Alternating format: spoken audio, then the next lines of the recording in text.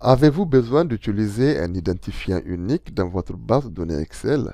Ici, nous avons notre liste de lieux de rencontre. Et chaque lieu de rencontre a un code spécifique. Par exemple, place du centre civique, le code numéro 1, centre sportif ABC, le code numéro 2, centre commercial, le code numéro 3, et ainsi de suite. Si par exemple nous saisissons centre commercial, on valide, vous aurez constaté que le récupère son code. Et ainsi, vous pouvez paramétrer votre base de données afin d'octroyer à chaque donnée un code et identifiant unique.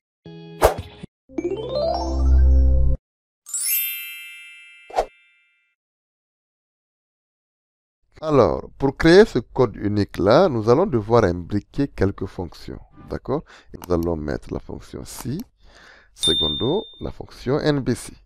Pour la place, je prends de A2, de point A2. Et n'oubliez pas de bloquer la première référence A2. Le critère, je prends toujours A2. D'accord? Et là, je pose une condition. Si cette formule-là est égale à 1, et bien évidemment, ça me donnera le chiffre 1. Je m'explique. Alors, j'appuie sur F9. Et comme vous le constatez, cette fonction NBC me renvoie le chiffre 1. Là, pour revenir de la formule, je fais CTRL Z. Pourquoi nous avons 1 Parce que tout simplement, nous avons le premier nom qui est place du centre civique dans notre cellule. Pour cela, je veux tout simplement avoir le maximum, d'accord? Et le maximum à partir de B1, de point B1. N'oubliez toujours pas de bloquer cette référence B1. Ce maximum-là, je vais en rajouter 1. Sinon, alors je fais ma recherche verticale. Alors, Recherche V pourquoi Je vais rapatrier tous les chiffres 1 qui se répètent. Valeur recherchée, c'est évidemment cette cellule-là.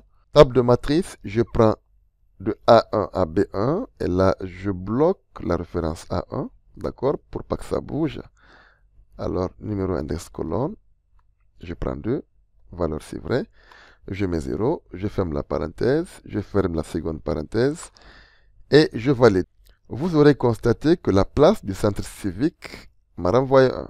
Ensuite, nous avons un nouveau nom qui apparaît, qui soit le centre sportif ABC. Donc, si j'incrémente, j'aurai le chiffre 2.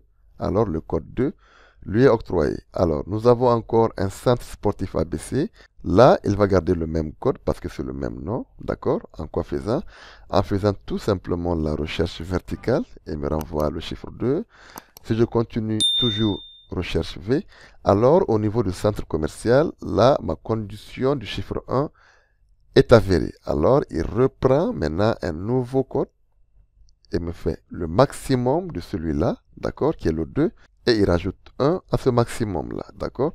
Là, j'aurai le centre commercial qui me renvoie toujours le chiffre 3. Alors, ainsi de suite, donc j'ai mon code identifiant qui a été créé automatiquement. Si j'incrémente jusqu'à la fin de ma base de données, et là j'aurai des erreurs pour corriger ces erreurs-là. J'ai la merveilleuse fonction si erreur. Si cette formule présente une erreur, point virgule, alors je veux du vite, tout simplement. Je fais CTRL entrée.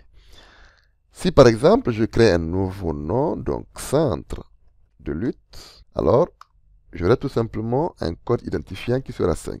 Si je reprends par exemple le centre sportif ABC, et là, j'aurai le code identifiant 2. J'espère que cette petite démonstration euh, va vous plaire et va vous aider dans vos projets. N'hésitez pas de vous abonner, n'hésitez aussi pas de cliquer sur la petite cloche, ça c'est pour ne rien louper.